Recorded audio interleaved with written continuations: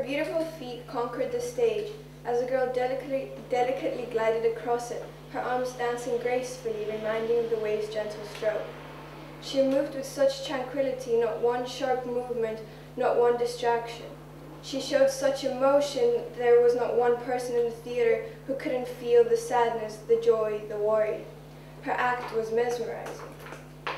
Her smile was so cheerful that the girl's mother teared up from the overwhelming feeling of pride. Her eyes glistened so brightly, they shone like the, st- the stars on the deep blue canvas that lit up the mysterious sky. Her performance was undoubtedly outstanding. But the ache in her body was all but a masquerade. Though the dance looked so trouble-free, she put full effort, full power, full emotion into it. Though she, she, though she was tired, breathless, she continued to fascinate the audience. She ignored her body's call to stop and pushed and pushed and pushed through the pain. After the show, she continued to smile, she continued to shine, she continued to look gleeful.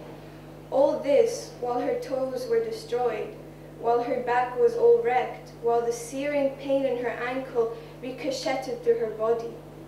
The girl knew very well how performances work, how to pull off a show, how to please the spectators.